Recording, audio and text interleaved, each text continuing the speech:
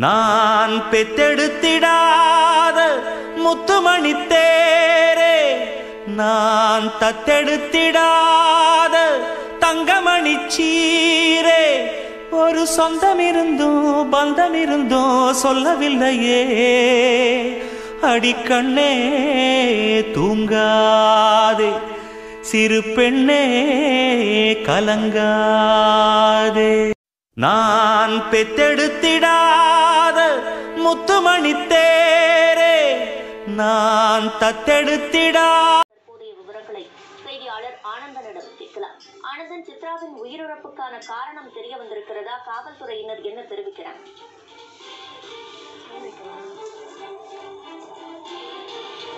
சிவரஞ்சினி சென்னை திருவான்மையூர் பகுதியைச் சேர்ந்த சின்னத்திரை நடிகை வயது இருபத்தி ஒன்பதாவது சித்ரா. இவர் நேற்று இரவு தூக்கிட்டு தற்கொலை செய்து கொண்டார். திருவான்மையூர் பகுதியிலிருந்து நசரத்தைப்பேட்டை பகுதியில் இருக்கக்கூடிய ஒரு தனியார் விடுதியில் அங்கு ரூம் எடுத்து அவருடைய திருமணம் இரண்டு மாதத்திற்கு முன்னே நிச்சயிக்கப்பட்டிருக்கிறது. நிச்சயிக்கப்பட்ட அவருடன் ஹேம்நாத் அவருடன் அந்த அறையில் தங்கியிருக்கிறார். தங்கியிருப்பது அவருக்கு கருத்து வேறுபாடு ஏற்பட்டிருக்கிறது. அந்த கருத்து வேறுபாட்டின் காரணமாக அவர் தூக்கிட்டு தற்கொலை செய்து கொண்டு செய்து கொண்டதாக தகவல் இருக்கிறது. அவருடைய உடலை மீட்டு நசரத்பேட்டை காவல்துறை அதிகாரிகள் விசாரணை மேற்கொண்ட பிறகு அவர் மருத்துவமனைக்கு அனுப்பி வைத்திருக்கின்றனர்.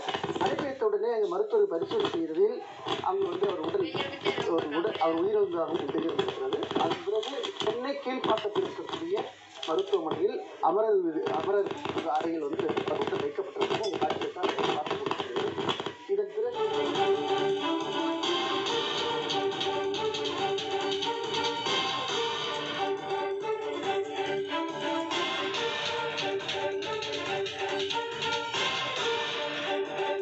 வாங்குவதற்காக அவருடைய உறவினர்கள் தொடர்ந்து அந்த அது நடைமுறைகளை பின்பற்றி கொண்டிருக்கிறார்கள்.